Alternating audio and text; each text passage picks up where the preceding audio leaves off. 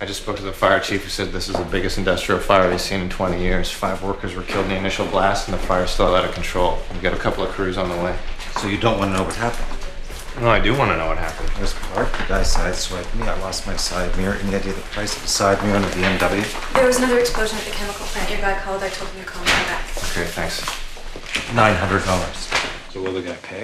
Well, that's the issue. The driver's from the French consulate, declares diplomatic immunity, refuses to pay for the mirror, and claims that I was triple parked. Triple parked? Yeah, in Chinatown. Okay? The main drag used to be three lanes wide. These Chinese guys who deliver fish would double park and reduce it to one lane. So now they widened it to four lanes. These guys triple park and reduce it to one lane. Yeah, just one second. Yeah, it's me. Look, I got two crews on the way. I want to know if the sixth guy died. Yeah, I'll hold.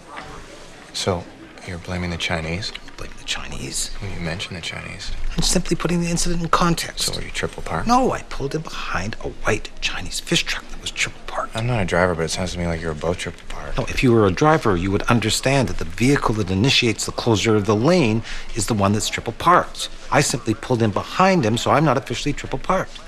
So, the offending party is the guy who initiates the closure? Yes, once the lane's closed off, it's closed off. It's a principle of the law. It is. Yes, I, uh, look, guy's murdered, okay? The body's lying there for an hour. Another guy comes by, shoots the dead body. The body's already dead. The second guy can't be charged with murder. The lane's already closed. Exactly. The triple park was done by the Chinese fish guy. And the French embassy guy? French embassy guy was double parked, one lane to my right, sweeps around, and takes off my side mirror. How'd you know it was a French embassy guy? Because the Chinese fish truck guy got his license number, wrote it down on a piece of paper, put it on my windshield, and I tracked the license number. So, you've got a witness? Who, the Chinese fish guy? Yeah, I mean, he helped you with the plate. Maybe he'll testify. No, no, no, no. He didn't leave his number. You know what they're like. Chinese fish truck drivers? I'm not real familiar. They don't want to get involved in our culture. I wonder why.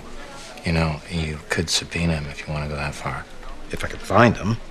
Well, didn't you see his company name on his fish truck? It was a white truck. There was nothing written on the truck. Well, then how'd you know it was a fish truck? All those trucks in Chinatown are fish oh, trucks. Well, okay, for that matter, how'd you know that the driver was Chinese? He was triple parked in Chinatown. You know, so are you. Are you Chinese?